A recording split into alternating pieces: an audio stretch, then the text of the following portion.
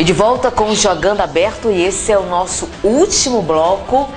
Mas ainda dá tempo para a gente conversar bastante com o nosso convidado de hoje, que é o Dr. Valber. A gente falou já de família, falamos da sua profissão, das dificuldades, dos sonhos, enfim. Agora eu quero fazer uma pergunta. Eu tenho certeza que muita gente também quer saber. Dr. Valber é um pré-candidato a prefeito de Pedreiras? Eu sou um pré-candidato a prefeito de Pedreiras. Assim como na nossa cidade tem muitos pré-candidatos. Todos eles têm os seus grupos, têm as suas facções, a gente respeita todos. Mas eu faço parte do grupo político hoje, o grupo do prefeito Lenal Wilson. E no nosso grupo também não tem só eu de pré-candidato, nós somos vários, nós temos quatro pré-candidatos. Todos eles trabalhando no sentido de ser candidato, eu também. E se for da vontade de Deus, é que a gente tem um acordo nesse grupo que a gente, aquele candidato que tiver melhor é, apoio popular, ou seja, nas pesquisas que ele tiver melhor posicionado, será apoiado pelos outros candidatos e daí partir para uma, vamos dizer assim, uma grande união com os outros grupos, de modo que a gente possa é, alimentar aquele meu pensamento dessa grande união. Então eu sou um pré-candidato, respeito todos os outros pré-candidatos a prefeito. E se for da vontade de Deus, a gente tem um sonho de ser prefeito de Pedreiras, né? Isso aí, se acontecer, a gente tem metas a cumprir, tem desejos e claro que a gente tem que contar inicialmente com a vitória. Você é, se acha um, um, um forte candidato? seja um forte pré-candidato a prefeito? Olha, nós temos é, vários candidatos fortes, né? candidatos, vamos dizer assim, de peso político. Mas na campanha eleitoral a coisa muda, porque o que importa hoje em Pedreiras é a união. A gente chama isso de formação de grupos políticos. Né? Aquele grupo político que, se, que melhor se articular, que tiver é, mais aglomeração, que atrair mais pessoas, mais lideranças, esse sim pode lançar um forte candidato a prefeito, né? Então a gente, eu me sinto hoje assim como, assim, é, como eu sou vice-prefeito, né? Eu acho que seria um passo para ser prefeito, né? Então esse esse passo na eleição passada, eu conversei com os meus aliados, né, inclusive com o meu prefeito, que a gente teria essa intenção e que a gente gostaria de ter um apoio do grupo e também que a gente pudesse juntar com outros grupos para que fortificar, né, ficasse o grupo mais forte e lançar um candidato com chances de ganhar a eleição. Agora, uma coisa eu chamo muita atenção é a questão de gastos políticos, porque tem pessoas que, que pensam que vai ganhar a eleição gastando dinheiro, mundo de dinheiro. Eu acho que é, o pensamento da nossa população não é mais esse, porque aquele candidato, aquele pré-candidato que pensar que vai ganhar a eleição comprando voto, ele vai prejudicar o andamento dos projetos, né, prejudicar a cidade, prejudicar a população porque nós sabemos que hoje os recursos que vêm para o município são recursos já totalmente alocados. Recursos da saúde é para a saúde, recursos da educação, recursos da infraestrutura, então assistência social. Então todos eles tem que haver uma prestação de conta e essa prestação de conta hoje tem que ser feita, é, vamos dizer assim, instantaneamente, à medida que vai se gastando, vai prestando conta. Aquela pessoa que tiver pensando que vai ser um candidato para poder tirar o dinheiro dos cofres públicos para pagar a sua despesa que você teve anterior na eleição, olha, está muito enganado. Eu, por isso que eu vejo, eu faço questão de tornar público que todos os pré-candidatos, as pessoas que têm interesse em ser candidato a prefeito de Pedreiras, que pense em fazer um, vamos dizer assim, evitar gastos excessivos para que ele depois não se prejudique no futuro. Eu não queria ser eleito um prefeito de Pedreiras à custa de gastos de campanha exorbitantes. Eu não queria ser prefeito desse jeito. Eu queria ser um prefeito eleito pela vontade popular de votar espontaneamente numa pessoa que pensa em projetos para a nossa cidade, que pensa na evolução, na melhoria da qualidade de vida de todas as pessoas, dos idosos, das crianças, das gestantes, do, dos estudantes, dos jovens, dos atletas. Então a gente pensa em melhorar a qualidade de, tudo isso. E você só consegue isso se tiver apoio da população. Sem apoio, nem eleito, você não vai. Agora, doutor Valber, é, é claro que a intenção de todos os pré-candidatos a prefeito é ganhar as eleições. Né? E por que você quer ser prefeito? Qual o seu sonho para a cidade de Pedreiras? Olha, eu tenho sonhos para Pedreiras como prefeito. Nós temos que dar continuidade no crescimento da nossa cidade, é, procurar investir na, na saúde, eu quero investir na parte de, vamos dizer assim, na medicina, melhorar a qualidade do atendimento à saúde no hospital. Não estou dizendo que a, que a nossa cidade está às mil, às mil maravilhas, porque em lugar nenhum a gente está 100% no mundo todo. Nós temos que, sempre que procurar melhorar cada vez mais. Também não estou falando que a administração do prefeito atual vai mal, mas nós sabemos que nós sempre temos que melhorar alguma coisa na nossa cidade, na nossa região. Então, na parte da saúde, a gente quer investir um pouco mais na parte de equipamentos, melhorar a estrutura física do hospital, ampliar o maior número de atendimento para a população. A gente sabe que isso custa, isso é trabalhoso, é difícil, porque você vai ter que correr atrás, e a São Luís, e a Brasília, correr atrás de recursos. E eu estou disposto a correr atrás. Na, na educação, nós também temos que procurar melhorar ainda mais, é, procurar investir na, na, na, vamos dizer assim, no aperfeiçoamento dos professores também, mais ainda, também melhorar a qualidade do, do trabalho dos professores, dos alunos, nas escolas, ampliar a rede. Né? Então, nós temos essa meta. E na infraestrutura, a gente está vendo que a nossa cidade está crescendo, então nós precisamos melhorar a questão do saneamento básico, né? investir no saneamento, na habitação, nós temos que correr atrás de recursos para isso, porque a nossa cidade realmente ela está precisando muito. Tem pessoas que estão tá na rua, que estão tá precisando de moradia. Então o meu sonho é esse, é ser prefeito de Pedreiras, eleito pelo voto, pela vontade popular, para que a gente possa ter forças, para que a gente possa desenvolver muitos projetos e trabalhando sempre no sentido de união. Nessa união, a gente tem que ver as pessoas que têm potencial para ajudar em todos os setores, porque você sabe que você nunca governa sozinho. Se você for eleito a prefeito e pensar que você vai fazer tudo sozinho, você não vai para lugar nenhum. Você vai precisar da ajuda de muita gente, você vai precisar de, de correr atrás dos deputados, estadual, federal.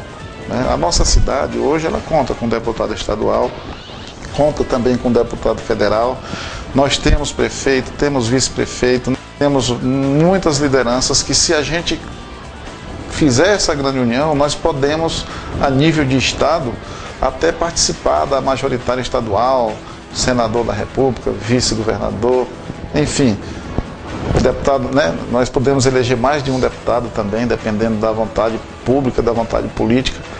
E essa, esse é o meu pensamento: é melhorar cada vez mais a qualidade de vida das pessoas. Investir nisso. Agora, doutor Valber, como vice-prefeito, todos nós sabemos que em todas as administrações existem falhas. Isso é todo lugar. Né? Ninguém, e nunca é ninguém nunca é perfeito, exatamente. É, qual a, a, a falha que você vê hoje na administração, na atual administração? Olha, é, nós não podemos ver, dizer que existe falhas. Nós, nas, em todas as administrações que a gente vê, às vezes é, as pessoas não são cooperadas, não são atendidas. Por exemplo, nós vemos hoje um grande sonho do prefeito atual de ver aquele mercado pronto e ele tem tido muitas dificuldades, tem corrido atrás das pessoas e até que enfim ele agora conseguiu né, fazer com que o recurso chegue, chegue chegasse para que ele desse seguimento ao final da construção do mercado de pedreiras. Então a gente vê também é, a questão do trânsito de pedreiras, um trânsito muito estava um trânsito muito pesado, com muitos acidentes, então já houve uma melhora com a colocação dos sinais de trânsito, já melhorando inclusive os acidentes, diminuindo o número de acidentes. Mas nós precisamos avançar. Outro dia teve uma, uma reunião na Câmara de Vereadores no, é, no sentido de, de discussão sobre o trânsito de pedreiras. Então foi tomada algumas medidas e esperamos que todas essas medidas sejam postas em práticas para melhorar cada vez mais né, a vida das pessoas que trafegam principalmente pela Rua Grande. Nossa cidade a gente sabe que ela vive mais do comércio, o nosso comércio é muito forte. Ele atrai pessoas de toda a região, Joselândia, São Raimundo do Bezerra, Lago da Pedra, então nosso comércio atrai muita gente. E é, os empresários também participam desse desenvolvimento. Então, a gente não pode dizer que o, a, o nosso prefeito vai mal. Eu acho que ele foi abençoado em conseguir muitas coisas para a nossa cidade, em procurar melhorar as instituições, é, pagamento de todo o funcionalismo em dia, sem atrasos. É, atenção na parte de educação, na parte da saúde, sabendo que nós temos as nossas dificuldades, temos que correr atrás. Eu não posso é, negar que a nossa cidade tem melhorado muito. Não está às mil, às mil maravilhas, mas ela melhorou. Como pré-candidato a prefeito de Pedreiras, claro, como todos, a intenção é ser prefeito que também é uma vontade, digamos assim, um sonho do Dr. Valber. Né? E se você não tiver o apoio do atual prefeito, você a si mesmo entraria independente? É uma boa pergunta essa pergunta sua, porque realmente a gente, quando está em um grupo político, a gente tem acordos. Quando esses acordos não são honrados, aí a gente fica livre para tomar uma decisão. É? Então eu acho que até agora nós, nós temos honrado todos os acordos, os pré-candidatos do nosso grupo, claro, e nós não estamos é, vendo nenhuma assim má vontade do grupo em manter o acordo. Ou seja, o acordo nosso é esse. Agora, se por acaso, de repente, o, o grupo achar que eu não deva ser o candidato, que deve ser outro candidato, aí eu fico, vamos dizer assim, na liberdade de poder repensar a situação. Aí é que eu vou pensar. Eu tenho todo o direito nesse caso, né? Porque o grupo não me apoiou, o grupo não honrou o compromisso, então eu fico nessa liberdade. Se fico, se não fico. Mas eu não pretendo sair candidato independente para vencer obstáculos sozinho. Claro, a gente tem que procurar ajuda, tem que procurar aliados fortes para que você possa concorrer à altura. Mas eu não acredito no, no, rompimento do nosso grupo, até porque nós estamos praticamente no final desse mandato, né? nós já estamos no último ano, já praticamente se passou o mês de janeiro, já vai chegar fevereiro e nós nunca tivemos nenhuma discussão que seja favorável a um rompimento. Muito pelo contrário, cada vez que a gente reúne, a gente procura é, intensificar mais o nosso acordo, trabalhar mais, procurar desenvolver mais ações, como uma ação, por exemplo, que nós tomamos a iniciativa juntamente com a FAESP e a Secretaria de Saúde e a Prefeitura, de fazer um grande movimento em Marianópolis, na área da saúde, com apoio também da Clínica Santa Terezinha, onde nesse dia nós levamos todos os equipamentos da clínica e fizemos um grande, uma grande ação, ou seja, são ações em conjunto que traz melhorias para a nossa população. São vários pré-candidatos a prefeito de Pedreiras, inclusive você é um deles. Agora eu queria saber, doutor Valber, o que diferencia o senhor dos outros pré-candidatos? Qual o diferencial do doutor Valber? Olha, eu acho que todo pré-candidato eu não posso chegar e querer ser diferente ou melhor do que ninguém. Eu me coloco em situação de igual para igual com todos, de igual para igual com todos. O que eu vejo na minha situação é o meu passado político, né? Eu venho fazendo carreira, eu comecei como vereador, comecei lá de baixo, comecei como vereador, em 92 eu fui eleito vereador, em 96 eu fui candidato a vice-prefeito de Pedreiras, na época com Raimundo Louro e nós não ganhamos aquela eleição. Em 2000 eu não participei do processo porque eu fiquei com o doutor Aristóteles que pediu minha ajuda em Lima Campos, que foi eleito prefeito naquela época. E em 2002 eu fui candidato a deputado estadual, fui eleito suplente de deputado, não fiz foi assumir, mas eu fiquei na suplência. 2004 fui, eleito, fui candidato a prefeito, perdi, né? o Lenoilson ganhou. E agora em 2008 fui candidato a vice do Lenoilson e ganhei. Ou seja, eu tenho uma carreira política em Pedreiras que eu acho que talvez seja o único que tenha toda essa trajetória com relação aos outros candidatos. Claro que tem outros pré-candidatos que têm mandato e tudo, mas passar por uma trajetória numa reta ascendente prolongada como a minha, eu acho que não é fácil. Esse é o diferencial.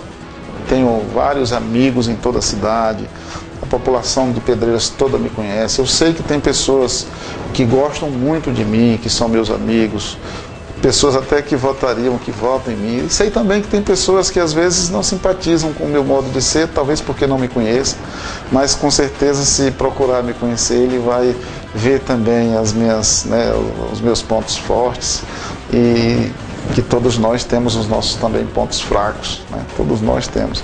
Eu procuro trabalhar bem o meu ponto forte e aquelas rejeições que a gente tem, às vezes é por questão de empatia. Então eu acho que o grande diferencial é esse, é a minha trajetória de vida, minha trajetória na política. Eu acho que está perto de chegar esse dia e seja feita a vontade de Deus e do, do povo. O prefeito de Pedreiras é médico, o vice-prefeito também é médico e é comum hoje em dia você ver médicos envolvidos na política, né? É comum hoje em dia. Você acha que isso é um, um ponto forte para quem pretende ingressar na carreira política, ou seja, um médico? É, olha, a, a medicina, como eu falei no começo da entrevista, ela quer você seja candidato ou não, quer você seja político ou não, só pelo fato de você ser médico, você já participa da política. Você já participa da, do desenvolvimento da região. Então, a arte de fazer política é essa, a arte de fazer desenvolver a região. E todos os médicos fazem isso. Então, pelo fato de ser médico, eu não posso dizer assim que sou melhor do que o outro que é engenheiro, do que o outro que é técnico, do que o outro que é agrícola. Não, não, não existe isso. Eu acho que o, o, que vai, o que vale mesmo é o conhecimento que a pessoa tem da, da cidade que vive, as amizades que ele tem com muitas lideranças, com muito, muitas pessoas e também que o povo reconheça isso. Então eu acho que esse é o grande diferencial. A questão financeira não conta ponto, não conta ponto, porque eu lembro que nós temos ó, em Vitorino Freire, seu Ribamar ganhou a eleição sem dinheiro, sem nada, e ele era apenas um dono de usina de arroz lá. E como a gente vê vários exemplos nas outras cidades, pessoas que é, vêm de baixo e depois conseguem ser eleito prefeito e desenvolver um grande trabalho na região. Eu pretendo sim ser um prefeito, fazer um grande trabalho, terminar o meu mandato e dizer, olha, está tudo aqui, a cidade cresceu e depois e você não ter problemas na justiça por ter feito coisa errada durante o, o seu mandato. Né? Eu quero sair de mãos limpas, assim como eu entrei. Se você for prefeito de Pedreiras, qual será a prioridade do Dr. Valber? Nós temos que ver a área da saúde. Né? Nós temos que, pelo fato de ser médico. Mas a gente vê o seguinte: eu sou médico, mas eu não posso me ater só na área da saúde. Eu gosto também da área de construção civil. Eu sou praticamente um construtor, sou praticamente um engenheiro. Tanto é que eu estou construindo a, unidade de, de saúde ali, a unidade, a Clínica Santa Terezinha e tenho tido a ajuda de muitas pessoas, de muitos técnicos e hoje aprendi uma forma rápida de construir. Por exemplo, se eu tiver que construir um ginásio de esporte, que eu acho que Pedreiras precisa de mais ginásio de esporte, eu já tenho a técnica de fazer rápido, de montar os pré-moldados aqui mesmo dentro da nossa cidade, usando a, a nossa própria mão de obra, melhorando cada vez mais a nossa mão de obra e investindo aqui dentro da nossa cidade. Porque a gente sabe que um prefeito que não tem conhecimentos de construção civil, quando ele vai precisar construir uma coisa, ele tem que comprar de fora. E as pessoas vendem de fora caro. E você termina tirando um dinheiro que era para ser investido aqui, que sairia muito mais barato e melhoraria a qualidade de vida da pessoa e leva esse dinheiro lá para fora eu ia procurar trazer essa tecnologia para cá, até porque eu aprendi a fazer ali na Clínica Santa Terezinha. Se você olhar por lá, você vai ver um, uns, umas pilastras que foram erguidas por um caminhão MUC para montar umas lajes e ficar uma estrutura que ali foi feito rapidamente num preço barato. Um preço mesmo muito diferente do que se tivesse sido feito em São Luís. E isso eu provei, eu comprovei. Então eu acho que eu não poderia deixar a parte de construção civil da nossa cidade assim não. Por exemplo, ginásio de esporte, pontes, colégios, é, quadras de esportes, é, enfim, a parte de drenagem, a parte de ruas, melhoria dos calçamentos. Então a gente tem uma tecnologia que, poder, que poderemos usar investir com o povo da nossa própria cidade. Né? E trazendo recursos de fora, claro, para que. E quem sabe também não seja montado, vamos dizer assim, uma grande oficina e daqui a gente exportar para as outras cidades que ainda não têm essa tecnologia. Assim como a gente hoje busca lá fora. As pessoas de fora podem vir buscar aqui e a gente gerar mais emprego. Esse é o meu sonho, é tentar trazer as coisas, puxar a sardinha para nossas brasas, né? para que as nossas pessoas possam trabalhar. E olha, é, todos sabem que hoje em dia, na, numa administração, são primordiais a saúde e a educação. Como é que você vê a questão é, do prefeito ser médico e a saúde ser nota zero? Como é que você vê essa questão? Olha, eu não diria que a saúde de Pedreiras seja nota zero. Né? Eu não diria isso. Até pelo contrário, a saúde de Pedreiras ela tem uma nota, também não é 10. Né? Eu daria, vamos dizer, uma nota próxima de 7, a nota 7. Para que nós possamos chegar a 10, está longe. Mas a gente vê que a nossa cidade antes, ela não tinha hospital público tudo era privado. Não sei se você lembra desse tempo. Aqui em Pedreiras chegou uma época que aqui tinha sete, oito hospitais, tudo privado. Então os recursos iam para os empresários, os recursos da atenção básica, inclusive. E houve aquela grande municipalização no país inteiro, né? e aqui não foi diferente. E fechou-se naquela época um monte de hospital, como ainda hoje tem hospitais fechados aí, funcionando o hospital, apenas um hospital do município e o município não tinha nem prédio, não tinha nem estrutura, tinha que alugar. Até esse prédio aqui foi, era alugado para a prefeitura em tempos anteriores. E hoje a prefeitura já conseguiu comprar um prédio, que é aquele prédio ali da Policlínica, que está funcionando no Hospital Geral, que eu acho que eu dou uma nota boa por causa daquela aquisição. Que isso significa que o prefeito ele não tem interesses pessoais Assim, eu vejo a situação dele, ele não, é, não tem interesse pessoal de comprar para ele, mas ele poderia ter comprado aquele prédio para ele. e depois dizer eu sou dono desse prédio e vou botar a própria prefeitura para trabalhar no meu prédio e ficar fazendo aquele intercâmbio lá. Não, ele fez assim uma coisa que eu aplaudi. Ele comprou para o município. Hoje o município é dono da sua, daquela estrutura. E a gente vê até que ele hoje recebeu um, um, um apoio do governo do estado para uma reforma, uma grande reforma e ampliação daquele hospital, que eu também torno a aplaudir se aquilo for verdade mesmo e, e houver essa construção, porque o município precisa. É, por exemplo, o, o, a questão dos atendimentos de urgência e emergência, que às vezes as pessoas não são bem atendidas no hospital, isso acontece muitas vezes é, nas emergências no dia a dia, é, aquele falta de um bom relacionamento do profissional com o paciente. Então, aquela questão que a gente vê acontecer, às vezes o paciente chega angustiado e está na troca de plantão. Então, mas isso aí é uma questão, vamos dizer assim, que, possa, que pode ter, é, que o profissional que está de plantão, ele possa se responsabilizar pelas suas ações. É, então eu acho que nós, eu por exemplo, quando eu estou num plantão, para mim não tem hora não, eu atendo qualquer um, sempre de bem e às vezes cansado, mas a gente tem que cumprir com aquela nossa meta.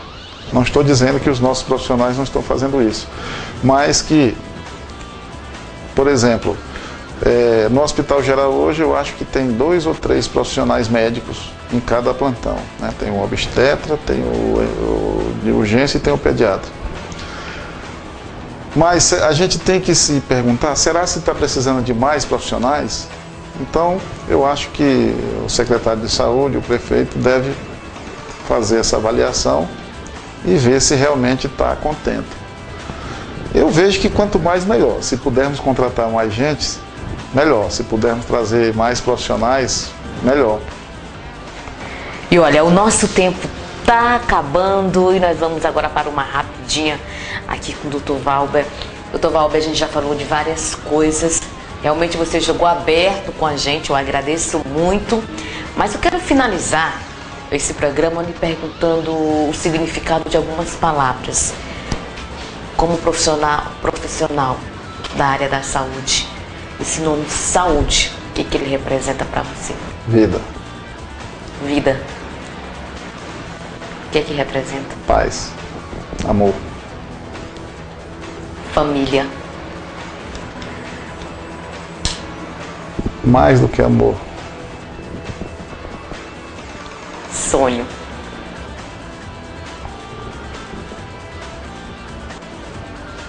Um sonho.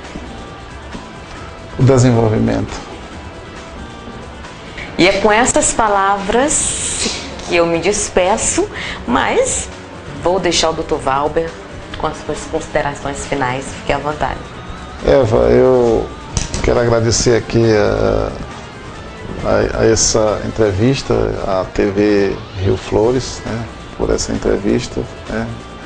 Fico muito honrado né, com, com esse dia de hoje e muito satisfeito e quero desejar a todos os ouvintes, a todos os telespectadores aqui que que sejam, que tenham muita saúde, que tenham muito, muita paz e que eu considero esse seu trabalho um trabalho muito bom.